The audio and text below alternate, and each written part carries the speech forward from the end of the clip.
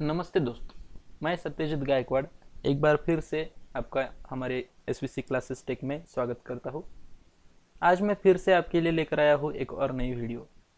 आज के हमारे चैप्टर का नाम है सेट्स जिसमें हम हम आज सीखने वाले हैं प्रैक्टिस सेट 1.3 ये इस वीडियो का थर्ड पार्ट है। अगर आपने पहले दो पार्ट अगर नहीं देखे तो जाइए और जल्दी से जाकर वो दो पार्ट देख लीजिए और उसके बाद इस पार्ट पर कंटिन्यू कीजिए।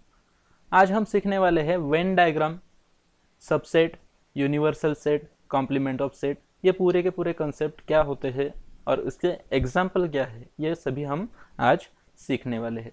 तो चलिए शुरू करते हैं। शुरू करने से पहले मैं आपको बता दूँ India's first social e learning platform जी हाँ सही सुना आपने India's first social e learning platform Noon academy is here for you M H board class nine to twelfth जी हाँ क्लास नाइन से लेकर क्लास ट्वेल्थ तक के बच्चों के लिए पूरे के पूरे क्लासेस यहाँ पर होने वाले हैं, जो कि है एब्सोल्युटली फ्री यहाँ पर आपको मिलेंगे daily free live classes till exams are done free notes मिलेंगे क्लास के बाद में M C Q preparative sessions होंगे M S C T NEET और अदर कॉम्पिटेटिव एग्ज़ाम्स की प्रिपरेशन भी की जाएँगी और अनलिमिटेड डाउट क्लियरिंग सेशंस होंगे। ये सब कुछ आपको मिलेगा बिल्कुल free only on Noon academy तो जल्दी से जाइए डिस्क्रिप्शन में दी गई लिंक से नून एकेडमी ऐप डाउनलोड कीजिए और रजिस्ट्रेशन करके पूरे फ्री क्लासेस का मज़ा लीजिए। चलिए वीडियो की शुरुआत करते हैं। आज हम सीखने वाले हैं वेन डायग्राम्स वेन डायग्राम क्या होता है? British logician John Venn was the first to use closed figures to represent sets set को रिप्रेजेंट करने के लिए क्लोज्ड फिगर यूज़ की, किसने यूज़ की? जॉन वेन उसका नाम क्या था? उस आदमी का मैथमेटिशियन जो था। जॉन वेन उसने क्या किया? क्लोज्ड फिगर्स यूज़ की। Such representation are called Venn diagrams ये वो आदमी था। जॉन वेन इन्होंने क्या किया कि क्लोज्ड फिगर्स जो है, जो डायग्राम्स है, वो यूज़ किया और उसके अंदर पूरे के पूरे सेट के एलिमेंट डाल दिए। और उन्हें उसे उसने नाम दिया वेन डायग्राम देखिए एग्ज़ाम्पल दिया हुआ है यहाँ पे। सेट ए समझो सेट ए है। सेट ए में element one two three four five six five element there are five elements तो इसने क्या किया? ये इस सेट को कुछ इस तरह से एक डायग्राम में बदल दिया। Set A is shown by Venn diagram ये पूरी की पूरी डायग्राम जो है, ये क्या है? सेट है। This is a set set A और उसके अंदर जो एलिमेंट्स है one two three four five वो रैंडमली कहाँ पर भी उसने प्लेस कर दिए। मतलब ऐसा कुछ भी रूल नहीं कि असेंडिंग या डिसेंडिंग ऑर्डर में या जैसे वहाँ पर लिखे हुए हैं, यहाँ पर वैसे ही पुट करना, ऐसा कोई रूल नहीं। कहीं कहीं भी आप कुछ भी पुट कर सकते हैं। तो ये पूरा का पूरा, इसे हम क्या कहेंगे? वेन डायग्राम ये क्या है? वेन डायग्राम तो मतलब मैथमेटिक्स में सेट कंसेप्ट ऐसा है वेन डायग्राम कंसेप्ट ऐसा है, जो थोड़ा सा बच्चों के लिए इंटरेस्टिंग लग सकता है। और आगे भी बहुत बहुत कुछ इंटरेस्टिंग हम पढ़ने वाले हैं। तो वीडियो को लास्ट तक देखिएगा। और वीडियो के एंड में आपके लिए एक अनाउंसमेंट भी है। तो जल्दी से वीडियो की लाइक बटन दबाइए और अपने दोस्तों के साथ भी शेयर कीजिए। जब तक हम आगे बढ़ते हैं। चलिए आगे हम देखने वाले हैं। Subset. What is subset? Subset क्या होता है? अब सबसेट के आ, मतलब आपको लगेगा एक कुछ तो भी आ, एक सेट है definition if if every element of set B is also an element of set A then set B is a subset of set A यहाँ पर आपको ध्यान में रखना है। Every element of set B every element of set B is also an element of set A जो जो element set B में मौजूद है, वो सभी सेट ए में भी मौजूद होने चाहिए। तब set B is a subset of set A then set B is a subset of set A देखिए एग्जांपल है यहाँ पर। Set A one two three four five six seven eight there are eight elements one two three four five six seven eight यहाँ पर set B दिया हुआ है। Two, four, six, eight. अब यहाँ पर गौर करने वाली बात यह है। Two two, four four, six six, eight eight. सभी के पूरे के पूरे एलिमेंट जो कि सेट बी में मौजूद है, वो पूरे के पूरे एलिमेंट सेट ए में भी मौजूद है। तो क्या हुआ? Every element of set B is also an element of set A जो बी में मौजूद है, वो ए में भी मौजूद है। तो इससे हम क्या कह सकते हैं? B is a subset of A. इसे हम कैसे रीड करेंगे? B is a subset of A. ये किसका सिंबल है? ये सिंबल है सबसेट का. ये सिंबल है सबसेट किस कैसे रीड करेंगे? B is a subset of A. और इसे वेन डायग्राम से भी हम रिप्रेजेंट कर सकते हैं. देखिए ये जो है यह है सेट A. और बी उसका सबसेट तो उसके अंदर आ जाएगा वो. सेट ए के अं-, अंदर क्या है? सेट बी मतलब बी क्या है? सेट ए का सबसेट है. तो इस तरह से कुछ हम ये सेट ए और बी रिप्रेजेंट कर सकते हैं। तो यहाँ पर हमने सबसेट में क्या सीखा कि सबसेट में हमने एक ही बात सीखी, अगर सेट बी में मौजूद होने वाले पूरे के पूरे एलिमेंट सेट ए में भी मौजूद होंगे तो सेट बी जो है वो सेट ए का क्या बनेगा? सबसेट बनेगा। मतलब यहाँ पर आप गौर करने वाली बात है सेट ए में कुछ एक्स्ट्रा एलिमेंट्स है, उससे हमें कोई लेना देना नहीं। सेट ए में अगर कुछ एक्स्ट्रा एलिमेंट भी होए तो उससे हमें कोई लेना देना नहीं। मतलब जितने एलिमेंट सेट बी में है मौजूद वो पूरे के पूरे ए में होने चाहिए। जब सेट बी क्या कहलाएगा? सेट ए का सबसेट कहलाएगा। तो चलिए आगे बढ़ते आगे हमें सीखना है रिमेंबर दिस कुछ पॉइंट्स है, कुछ पॉइंट्स है सबसेट के बारे में जो आपको ध्यान में रखने हैं। देखिए, पहला पॉइंट है every set is a subset of it क्या है? Every set is a subset of it कोई भी एक सेट अगर हमने उठा लिया तो वो खुद का ही अपना सबसेट रहता है। जैसे कि मानो हम आईने में अपना चेहरा देखेंगे तो हमें क्या दिखेगा? सलमान खान थोड़ी ना दिखेगा। उसमें हम ही देखेंगे। मतलब every set set A is a subset of set A मतलब कोई भी सेट हो तो वो खुद का सबसेट ज़रूर हो सकता है। दूसरा point M set is a subset of every set मतलब जो सेट एम है, जो जिस सेट में कुछ भी नहीं, ये क्या है? पिछले अब लेक्चर में हमने पढ़ा था। यह है phi phi is a empty set phi phi कैसे रिप्रेजेंट करते हैं? फाइव किसको रिप्रेजेंट करता है? एम्प्टी सेट को। मतलब phi is a subset of A मतलब empty set is a subset of A मतलब एम्प्टी सेट जो है, वो किसी भी सेट का सबसेट बन सकता है या उसे हम कह सकते हैं। If A equal to B मतलब दो सेट इक्वल सेट होंगे तो दोनों एक दूसरे के सबसेट होंगे। A is a subset of B B is a subset of A मतलब जब अगर दो सेट इक्वल होंगे तो दोनों सेट एक दूसरे के सबसेट बन जाएँगे या होंगे, ऐसा हम कह सकते हैं। उसका vice versa if A is subset of B और B is subset of A दोनों एक दूसरे के सबसेट है तो वो दोनों ज़रूर इक्वल होंगे। मतलब जो एलिमेंट ए में मौजूद है, वही एलिमेंट बी में है, और जो बी में मौजूद है, वही ए में मौजूद है। मतलब दोनों सेट इक्वल है। ये पॉइंट्स अपने ध्यान में रखना है। इंपॉर्टेंट पॉइंट्स है। कभी भी काम आ सकते हैं। तो इस तरह से हमने सबसेट के बारे में जानकारी ली। अब आगे बढ़ेंगे।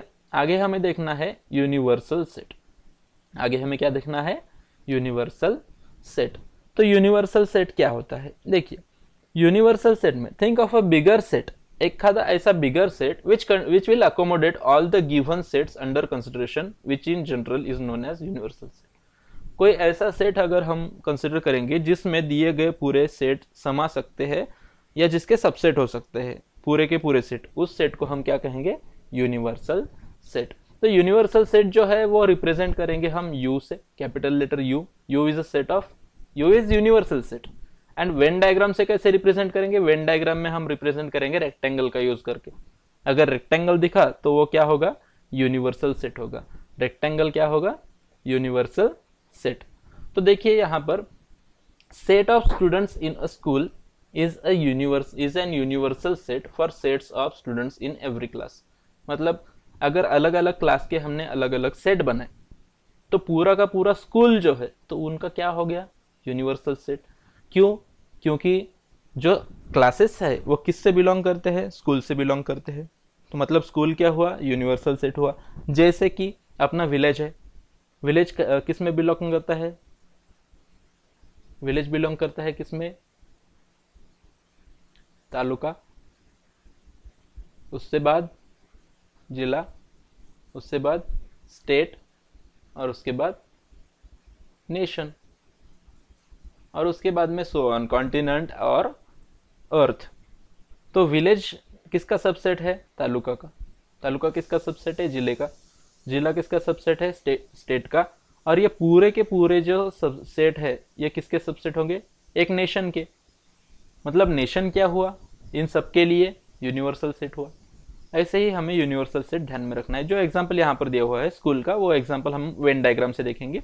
वेन डायग्राम यहाँ पर दी हुई है। ये रेक्टेंगल जो है, ये रेक्टेंगल क्या है? रेक्टेंगल है यूनिवर्सल सेट रेक्टेंगल क्या है? यूनिवर्सल सेट मतलब ये है स्कूल सेट ऑफ़ स्कूल और इसमें जो छोटे छोटे सेट दिए हुए हैं, ये है set of fifth class set of six class set of seventh class and so on सारे के सारे पूरे क्लासेस के सेट दिए हुए तो ऐसे करके हम यूनिवर्सल सेट रिप्रेजेंट कर सकते हैं। कुछ इस प्रकार हम यूनिवर्सल सेट को शो कर सकते हैं।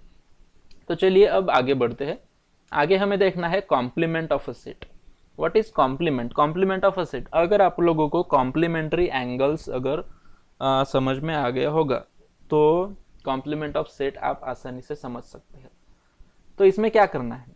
इसमें हमें एक सेट दिया हुआ है, एक यूनिवर्सल सेट और उसके बाद एक दूसरा सेट तो दोनों में से हमने कुछ एलिमेंट्स निकाल के दूसरा सेट बनाना है तो उसे हम कॉम्प्लीमेंट ऑफ़ सेट कहेंगे। क्या है देखिए यहाँ पर। Suppose u is a universal set वो दिया गया, दिया जाएगा आपको। If b is a subset of u, जो सेट b है, वो यूनिवर्सल सेट का सबसेट होगा।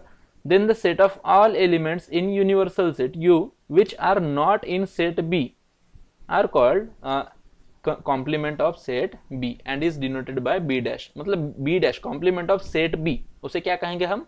बी डैश और उसे B complement B to power C मतलब बी कॉम्प्लीमेंट भी उसे कह सकते हैं।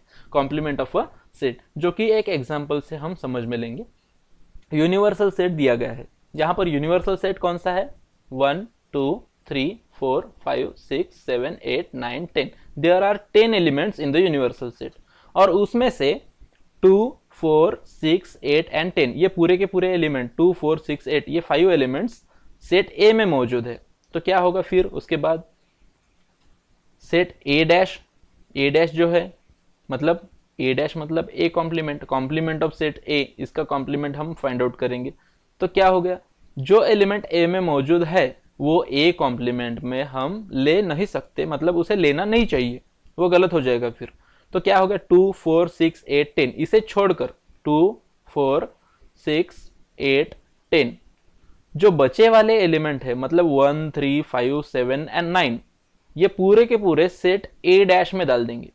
ए डैश। ए डैश मतलब क्या है? Complement of set A. अब यहाँ पर एक ध्यान में देने वाली बात ऐसी है कि सेट ए प्लस मतलब उसके एलिमेंट प्लस ए डैश उसके एलिमेंट दोनों के एलिमेंट मिलाकर यूनिवर्सल सेट बनेगा। ये हमेशा एक बात ध्यान में रखना है। देखिए यहाँ पर one two three four five six seven eight nine ten पूरे के पूरे मिला के यूनिवर्सल सेट बन गया यहाँ पे। और इसे हम वेन डायग्राम से भी शो कर सकते हैं, जो कि कुछ इस प्रकार है। ये देखिए, ये है आपका यूनिवर्सल सेट उसके अंदर सबसेट कौन सा है? सबसेट है ए उसके अंदर यहाँ पर दिया गया है। ए में जो एलिमेंट है two four six eight ten ये पहले हम लिख लेंगे यहाँ पर two four six eight and ten और बचे हुए एलिमेंट उसके बाहर मतलब उसके ए के अंदर नहीं है तो उसके बाहर आ जाएँगे। Three one three five seven and nine तो ये पूरे के पूरे मिला के क्या बना? यूनिवर्सल सेट बना। और उसके सिवा, इस सेट ए के सिवा ए को छोड़कर जो बचे हुए एलिमेंट है मतलब जो बचा हुआ पार्ट है, उसे हम क्या कहेंगे? ए डैश कहेंगे। मतलब complement of set A complement समझ में आ गया? तो जो एलिमेंट हम, जो, जिस सेट का कॉम्प्लीमेंट फाइंड आउट करने वाले हैं, उससे, उस सेट में जितने एलिमेंट है, उतने एलिमेंट छोड़कर बचे हुए एलिमेंट का सेट जो है, उसे ही हम क्या कहेंगे? कॉम्प्लीमेंट ऑफ़ दैट सेट मतलब जो ए में नहीं है, लेकिन यूनिवर्सल सेट में है, उसका सेट उस एलिमेंट्स का सेट उसे हम कॉम्प्लीमेंट ऑफ़ सेट कहेंगे। ठीक है? इसके बाद में हमें देखना है कॉम्प्लीमेंट ऑफ़ सेट के बारे में कुछ इंपॉर्टेंट टॉपिक्स यहाँ पर ध्यान में रखना है। बहुत ज़्यादा इंपॉर्टेंट होने की वजह से ये ध्यान में रखना है हमें। No elements are common in A and A dash ये ध्यान में रखना है। किसी भी सेट और उसके कॉम्प्लीमेंट का कोई भी एलिमेंट कॉमन नहीं होगा। मतलब अगर आपने पिछली स्लाइड में अगर देखा तो आपको ध्यान में आ जाएगा कि यहाँ पर देखिए सेट ए में कौन है? Two four six eight ten set A dash में कौन है? मतलब कॉम्प्लीमेंट में कौन है? One three five seven nine तो उन दोनों को अगर कंपेयर करें तो एक भी एलिमेंट वहाँ पर कॉमन नहीं है। इसी वजह से वो रूल हमें ध्यान में रखना है कि कोई भी सेट और उसका कॉम्प्लीमेंट उन दोनों में से कोई भी एलिमेंट कॉमन नहीं रहेगा। Second point A is a subset of U and A dash is also subset of U मतलब दोनों भी सेट जो है ए और कॉम्प्लीमेंट ऑफ़ ए दोनों भी किसके सबसेट होंगे? यूनिवर्सल सेट के सबसेट होंगे। बाहर का कोई भी एलिमेंट उसमें अलाउड नहीं होगा। तीसरा point complement of set U is empty set U dash equal to five ये ध्यान में रखना है। U dash equal to five मतलब यूनिवर्सल सेट का कॉम्प्लीमेंट कैसे निकालेंगे? देखिए, यहाँ पर एक यूनिवर्सल सेट है। तो इसके अंदर पूरे के पूरे एलिमेंट्स है। तो इसके बाहर क्या है? बाहर कुछ भी नहीं है। बाहर कुछ भी नहीं है मतलब क्या है? एम सेट है मतलब क्या है? फाइव है। मतलब यू डैश जो होगा complement of universal set is M is always M ये ध्यान में रखना है। उसके बाद complement of M set is U opposite complement of M set बाहर क्या है? कुछ भी नहीं है। अंदर क्या है? सब कुछ है। सब कुछ मतलब क्या? यूनिवर्सल सेट तो यहाँ पर ये चारों पॉइंट्स हमें ध्यान में रखना है। तो चलिए अब आगे बढ़ते हैं। आगे हमें देखना है प्रैक्टिस सेट और उसमें कुछ क्वेश्चन हमें यहाँ पर सॉल्व करना है। तो पहले तो हम क्वेश्चन नंबर फ़र्स्ट देखेंगे यहाँ पे। प्रैक्टिस सेट 1.3 ध्यान से देखना, ये क्वेश्चन एग्ज़ाम के लिए बहुत ज़्यादा इंपॉर्टेंट है।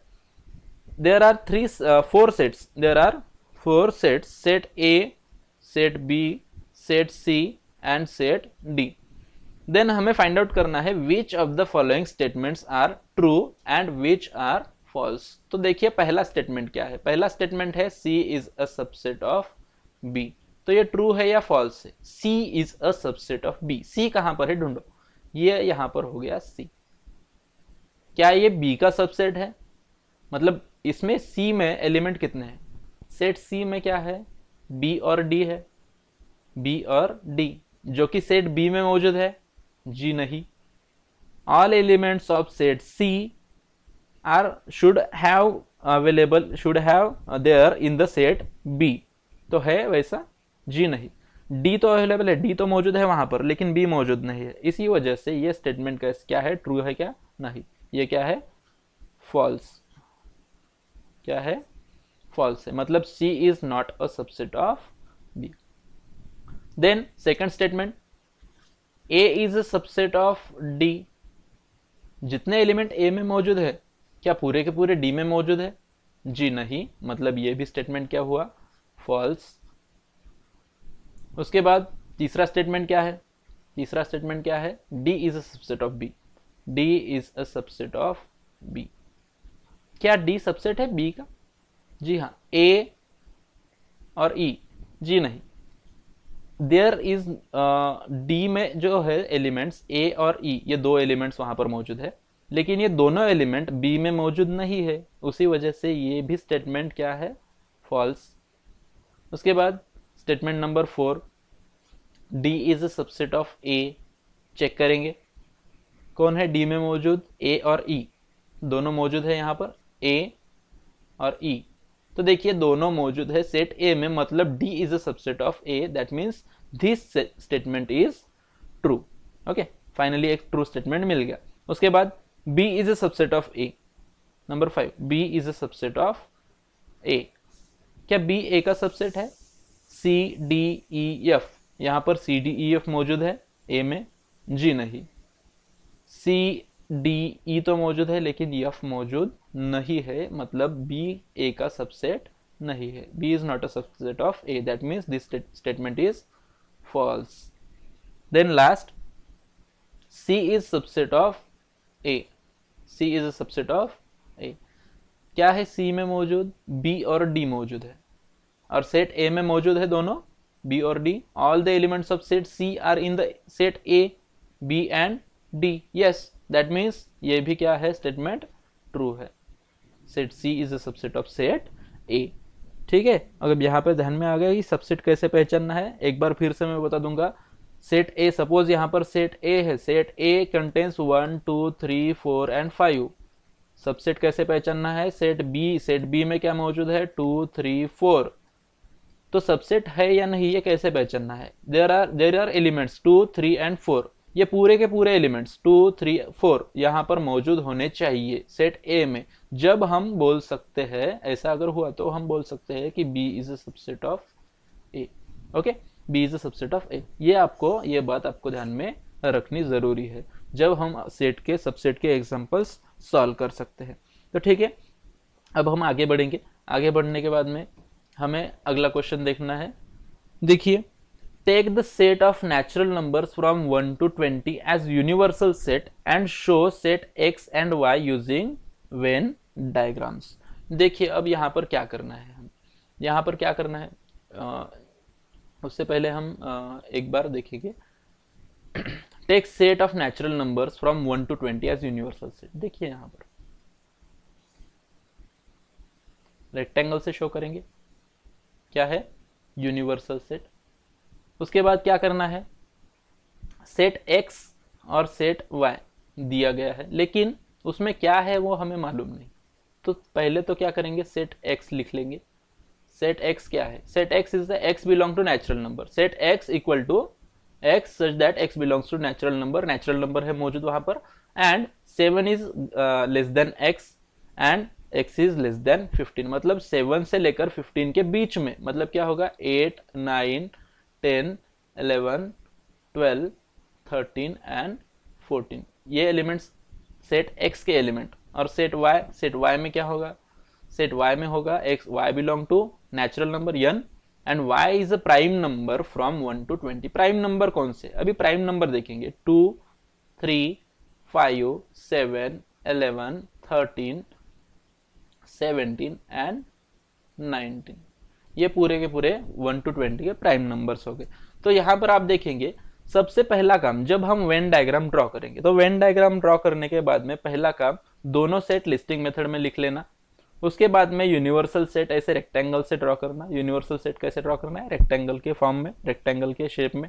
और उसके बाद उसके अंदर दोनों सेट हमें ड्रॉ करना है, क्योंकि दोनों सेट क्या है? उसके सबसेट है, देखिए। जी हाँ सबसेट है। One to twenty universal set okay और ये भी पूरे के पूरे वन टू ट्वेंटी के अंदर ही है। तो मतलब ये दोनों क्या हुए? उसके सबसेट हुए मतलब इसके अंदर आ जाएँगे। उसके बाद में एक ज़रूरी चीज़ और। एक्स एंड वाई में कुछ कॉमन है। या नहीं, ये ध्यान में रखना है। देखिए, वहाँ पर अगर कुछ कॉमन होगा तो हम उसे कॉमन पोर्शन में शो कर सकते हैं। देखिए यहाँ पे, जी हाँ 11 और 13 जो है, वो दोनों में कॉमन है। तो इसे कैसे शो करेंगे? देखिए, ये तो हुआ हमारा सेट x, उसके बाद ये set y set x set y okay अब जो कॉमन पार्ट है, जो कॉमन एलिमेंट्स है 11 एंड 13 वो पहले शो कर देंगे हम उसके बीच के पार्ट में। 11 एंड 13 ओके अगर कॉमन कुछ भी नहीं है तो दोनों सेट हम अलग अलग ऐसे ड्रॉ कर सकते हैं ओके ऐसे करके। तो अगर कॉमन होगा तो उस, उसको ऐसे कॉमन पोर्शन में हम शो कर सकते हैं। उसके बाद हम लिख लेंगे सेट एक्स और उसमें एलिमेंट बच्चे क्या एलिमेंट्स एट नाइन टेन यहाँ पर लिख लेंगे एट नाइन टेन उसके बाद इलेवन तो हो गया ट्वेल्व एंड फोर्टीन यहाँ पर लिख लेंगे ट्वेल्व यहाँ पर लिख लेंगे फोर्टीन उसके बाद सेट वाई वाई क्या है? Two three five seven two three five seven उसके बाद बचा क्या? सेवनटीन और नाइनटीन सेवनटीन नाइनटीन उसके बाद बचा क्या?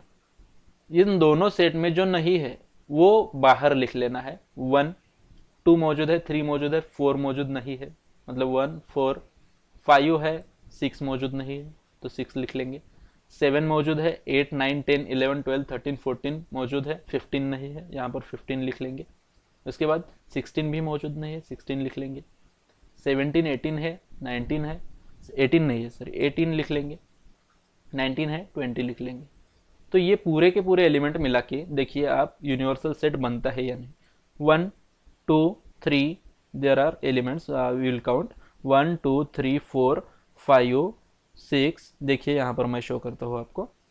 There are elements one two three four five six seven eight nine ten eleven twelve thirteen fourteen fifteen sixteen seventeen eighteen nineteen twenty पूरे के पूरे मिला के ये यूनिवर्सल सेट यहाँ पर बन गया। मतलब ये वेन डायग्राम हमारी यहाँ पर बन गई। इस तरह से आपको वेन डायग्राम बनानी है।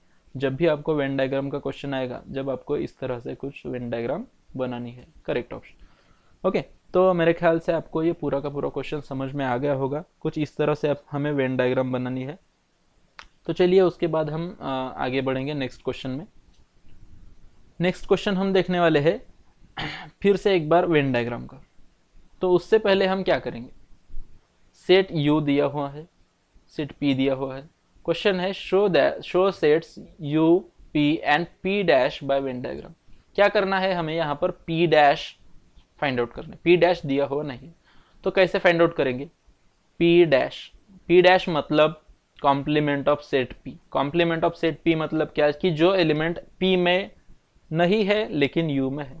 बाकी सारे elements one one three three seven seven ten ten और जो बचे हुए एलिमेंट है, वो पूरे के पूरे पी डैश में आ जाएँगे। मतलब क्या? Two eight nine eleven and twelve ये पूरे के पूरे एलिमेंट सेट पी डैश में आ जाएँगे मतलब पी कॉम्प्लीमेंट में आ जाएँगे। तो देखिए, उसके बाद क्या करेंगे हम? वेरीफाई पी डैश और ये पूरा का पूरा सेट हमें वेन डायग्राम से शो करना है। देखिए, ये ये हुआ हमारा यूनिवर्सल सेट ये क्या हुआ हमारा? यूनिवर्सल सेट उसके बाद क्या करना है हमें? इसके अंदर एक सेट लेना है। इसके अंदर क्या लेना है? सेट कौन सा?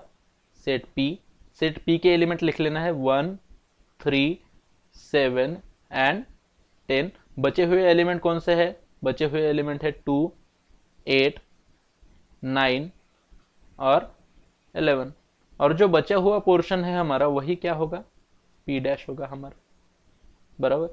जो है सेट पी यहाँ पर मौजूद है। और ये बाहर का जो सेट है, बाहर का पोर्शन है, वो क्या है? पी डैश ओके इसे हम अंदर लिख लेंगे पी सेट पी को क्या करेंगे? अंदर लिख लेंगे।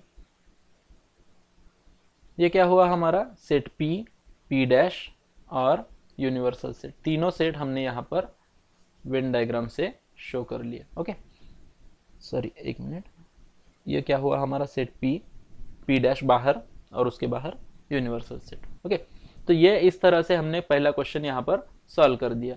उसके बाद वेरीफाई पी डैश डैश मतलब पी कॉम्प्लीमेंट का भी कॉम्प्लीमेंट यहाँ पर देखिए कॉम्प्लीमेंट का भी कॉम्प्लीमेंट होता है तो उसे हम पी के इक्वल शो कर सकते हैं। देखिए, क्या है पी सेट पी क्या है? उसे पहले लिख लेंगे। सेट पी है वन थ्री सेवन टेन अब देखिए पी डैश क्या है? पी डैश क्या है? लिख लेंगे उसे। पी डैश क्या है? Two eight nine eleven twelve उसके बाद पी डब पी डैश और उसका भी डैश मतलब पी कॉम्प्लीमेंट का भी कॉम्प्लीमेंट ये लिख लेंगे। मतलब जो एलिमेंट पी कॉम्प्लीमेंट में है, वो छोड़कर बाकी सारे एलिमेंट हमें पी कॉम्प्लीमेंट ऑफ़ कॉम्प्लीमेंट में लेने वाले। उसके बाद में क्या देखना है? Two eight nine eleven twelve ये छोड़कर बाकी पूरे elements two eight nine eleven twelve मतलब बचा क्या? One three seven and ten क्या बचा? One, three, seven and ten अब आपको देखना है कि P और P डैश डैश ये दोनों सेट इक्वल है या नहीं? मतलब देयर फोर अपन यहाँ से क्या करेंगे? इक्वेशन वन और टू नंबर दे देंगे। Therefore P dash dash is equal to P from आप देख सकते हैं क्लियरली वहाँ पर आपको दिख रहा होगा कि दोनों सेट जो है, दोनों सेट कैसे है? सेम है मतलब दोनों सेट इक्वल सेट है। ऐसे आप यहाँ पर ध्यान में रख सकते हैं।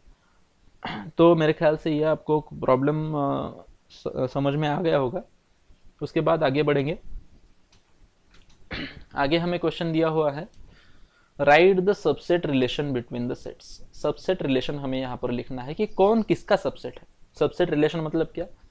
कौन सा सेट किस सेट का सबसेट है वो हमें लिखना है। P is a set of all residents in Pune. P is a set of all residents in Pune. M is a set of all residents in Madhya Pradesh Pune और मध्य प्रदेश का कोई relation there is no relation मतलब कोई किसी का subset नहीं है।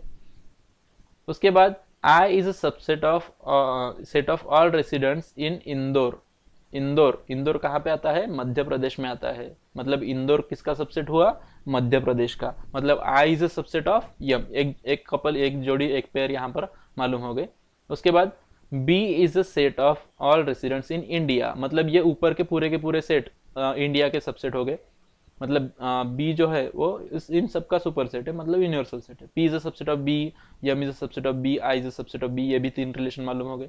उसके बाद H is a set of all residents in Maharashtra तो महाराष्ट्र पहले तो हम देखेंगे, पुणे किसमें बिलोंग करते हैं? पुणे बिलोंग्स टू महाराष्ट्र मतलब P is a subset of P is a subset of H. Pune belongs to Maharashtra.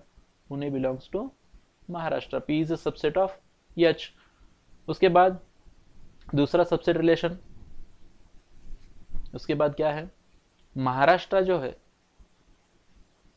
Maharashtra किसे बिलोंग करता है उसके बाद में मध्य प्रदेश देखेंगे Madhya Pradesh M M is a subset of B B क्या है set of India set of residents in India मतलब मध्य प्रदेश कहाँ पर आता है? मध्य प्रदेश आता है इंडिया में। तो Madhya Pradesh belongs to India ये दूसरी पेयर उसके बाद I is set of all residents in Indore ये देखा हमने यहाँ पर। इंदौर कहाँ बिलोंग करता है? Indore belongs to Madhya Pradesh. मतलब I is set of I is subset of M उसके बाद यहाँ पर हम देखेंगे। Maharashtra belongs to India Maharashtra belongs to India मतलब H is a subset of I also, Madhya Pradesh is belongs to India Madhya Pradesh M belongs to I उसके बाद also Pune और इंदौर, वो भी तो बिलोंग करते हैं ना इंडिया से। Pune P belongs to sorry India I नहीं है इंडिया एच है। तो यहाँ पर हम देखेंगे आ, इंडिया बी है देखो यहाँ पर H Maharashtra belongs to India यहाँ पर sorry Maharashtra belongs to India B Madhya Pradesh belongs to India B Pune belongs to India मतलब बी उसके बाद इन, आ, क्या है Indore Indore I I is a subset of B मतलब आप यहाँ पर देखेंगे P is a subset of A क्या देखा हमने यहाँ पर? P is a subset of A देखिए, ध्यान देना है यहाँ पर हमें। P is a subset of B आपको पूरे के पूरे रिलेशन समझ में आने चाहिए। देखिए, अब देखिए यहाँ पर पी पुणे। पुणे किसका पार्ट है? महाराष्ट्र का पार्ट है। मतलब P is a subset of Maharashtra. Pune is a subset of Maharashtra. P is a subset of H P is a subset of H पहली पहली जोड़ी। उसके बाद मध्य प्रदेश और इंदौर का रिलेशन मध्य प्रदेश और इंदौर का, Indore I Madhya Pradesh M. I is a subset of M. I is a subset of M. ये यहाँ पर। उसके बाद इंदौर और इंडिया का रिलेशन या इंडिया का पूरे, पूरा पूरे के पूरे अदर सेट्स के साथ रिलेशन मतलब आय जो है आय क्या है? Indore. Indore is a subset of M, Madhya Pradesh. Madhya Pradesh जो है, ये यम, किसका हिस्सा है? भारत का हिस्सा है, इंडिया का हिस्सा है। मतलब M is a subset of B B क्या है? Residents in India M is a subset of B यहाँ पर दिया हुआ है। उसके बाद H is a subset of B H क्या है? महाराष्ट्र। बी क्या है? इंडिया महाराष्ट्र किसका पार्ट है? इंडिया का पार्ट है। मतलब H is a subset of B यहाँ पर दिया गया है। M is a subset of B M is a subset of B यानी Madhya Pradesh. Madhya Pradesh subset of B B यानी इंडिया मध्य प्रदेश किसका हिस्सा है? इंडिया का हिस्सा है। मतलब M is a subset of B उसके बाद पी पुणे पुणे किसका हिस्सा है? महाराष्ट्र का। ऑब्वियसली महाराष्ट्र के बाद में वो किसका हिस्सा है? इंडिया का भी हिस्सा है। मतलब Pune P is subset of B P is a subset of B वैसे ही इंदौर इंदौर जैसे मध्य प्रदेश में है, वैसे ही वो इंदौर इंडिया में भी है। मतलब I is a subset of B Indore is a subset of India यहाँ ऐसे करके हमने सबसेट रिलेशन ध्यान में रखना है। कौन किसका सबसेट है? ऐसे करके हमें ध्यान में रखना है। तो मैं अपेक्षा करता हूँ कि आपको पूरे के पूरे कंसेप्ट यहाँ पर समझ में आ गए होंगे, जो हमने देखा, आज देखा सबसेट यहाँ पर देखा हमने हमने देखा यूनिवर्सल सेट हमने देखा कॉम्प्लीमेंट ऑफ़ सेट ये पूरे के पूरे कंसेप्ट अपने समझ में आ गए होंगे, ये मैं अपेक्षा करता हूँ। और ऐसे ही आप वीडियोस पाने के लिए हमारे चैनल को सब्सक्राइब कीजिए डिस्क्रिप्शन में दिए गए पूरे के पूरे लिंक्स को फॉलो कीजिए, हमें सोशल मीडिया पर भी फॉलो कर दीजिए, जैसे कि आपको नए नए वीडियोस का पता चल जाएगा। और जल्दी से जल्दी हमारा इस इस वीडियो को लाइक दबाइए लाइक बटन दबाइए और अपने दोस्तों के साथ शेयर कीजिए। ऐसे ही नए नए वीडियोस पाते रहे। Thank you